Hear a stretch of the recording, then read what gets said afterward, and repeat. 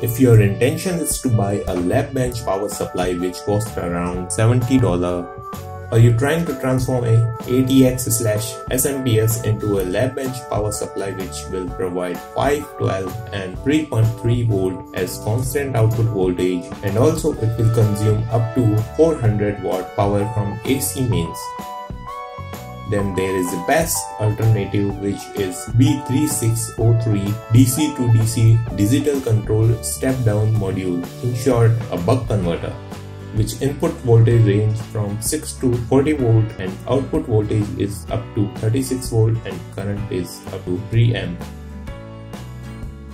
There is a 4 digit 7 segment display which shows voltage and current and 4 tactile switch for change the voltage and current. Along the display there are 3 LEDs, red is for output, yellow is for constant current and green is for constant voltage. The converter comprises of two PCBs. One has STM microcontroller for display output and control buttons. The another PCB has buck converter IC, inductor and essential circuitry for buck converter with input and output 4 terminal block.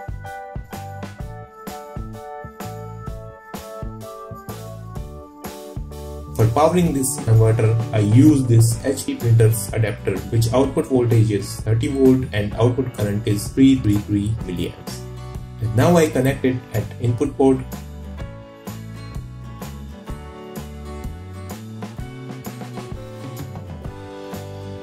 The green and red LEDs are on and if I short the output wire, the yellow LED will on and green will off.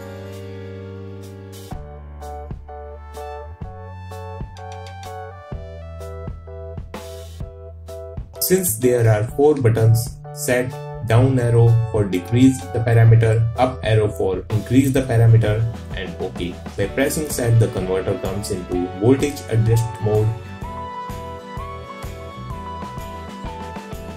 Now I set it on 5 volt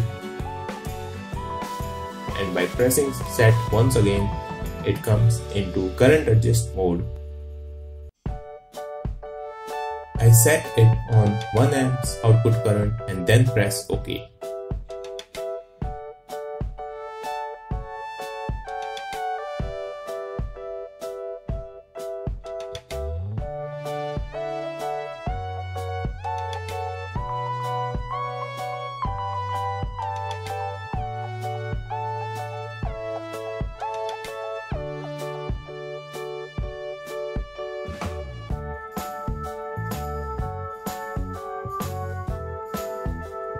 By pressing OK once, it shows output current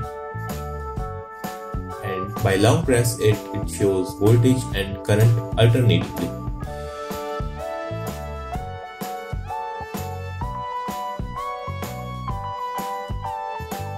This time I decided to power my laser diode thus I set the output current at 488 mA and voltage at 1.98 volts.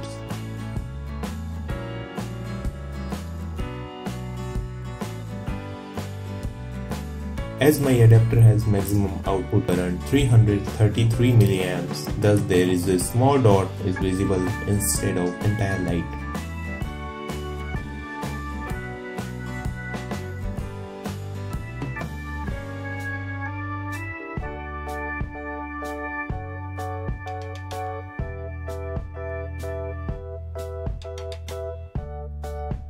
By increasing the voltage beyond 2.5 volt, my laser diode is dead.